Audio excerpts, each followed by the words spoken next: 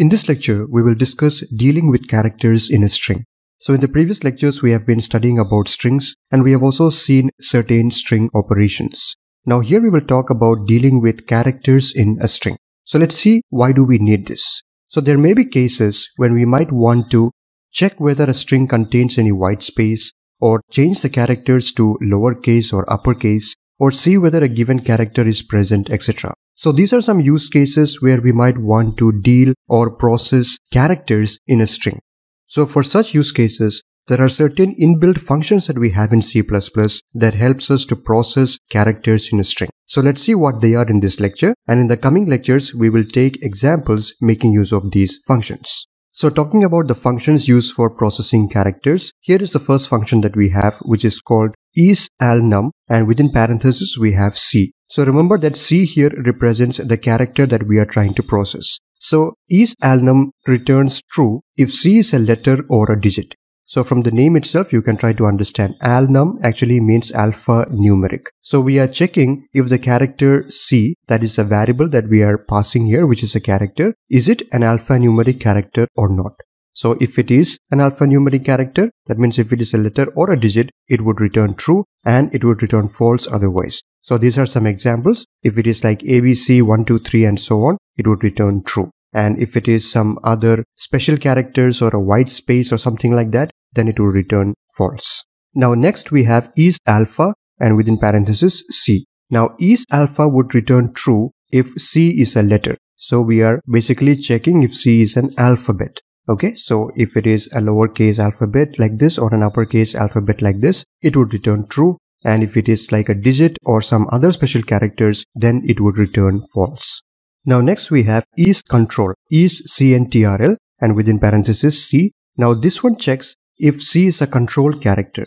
Now control characters are these kind of characters like tab, new line, carriage, return, etc. Now if it is a control character like any one of these, then it would return true and false otherwise. Okay, let's go to the next one. Next we have is digit. Now is digit checks if C is a digit or not. So it would return true if C is a digit. That means if it is a number or a numeric value, then it would return true and false otherwise. Next we have is graph. Now is graph would return true if C is not a space but is printable. That means if C is not a white space and if it is a printable character, then it would return true. So for example, we can have this kind of letters or numbers. So whatever is printable, then that would return true. So that is the use of is graph. Next we have is lower. Now is lower checks if the character is a lowercase letter. So we have lowercase letters like this and if it is a lowercase letter then it would return true and if it is an uppercase letter it would return false. And similarly we have is upper as well. So is upper would check if the character C that we passed here is an uppercase letter. So if it is an uppercase letter like this then it would return true and if it is a lowercase letter then it will return false. Now next we have isPrint. Now isPrint checks if C is a printable character.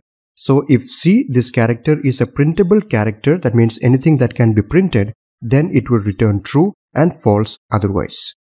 And next we have isPunct, P-U-N-C-T. Now this checks if the character C is a punctuation character.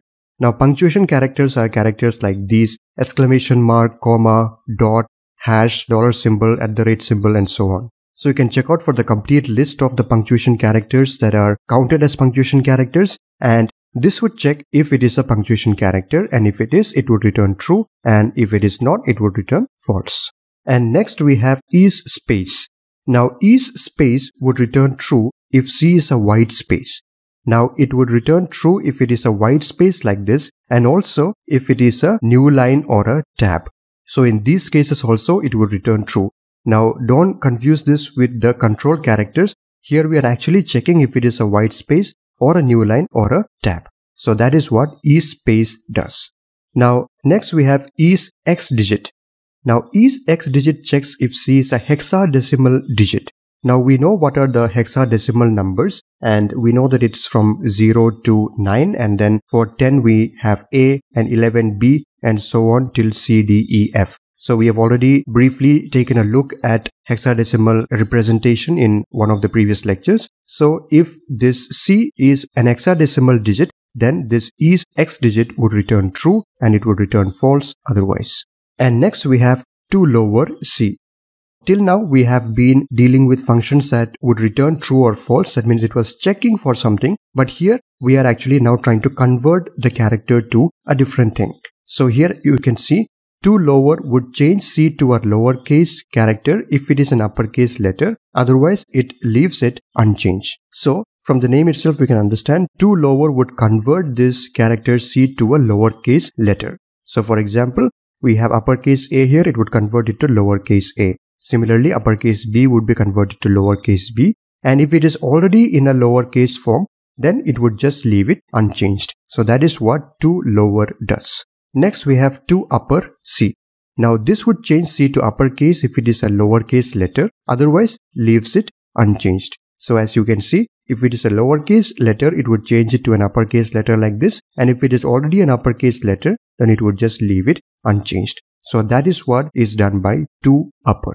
Okay, so those were some of the functions that are used for processing characters in a string. So with this, I hope you have got an idea that there are a lot of things that we can do with characters in a string. So in the next lectures, we will take examples and we will see how we make use of these functions in programs to process characters in strings. So I hope this lecture was clear to you. Thank you for watching and see you in the next one.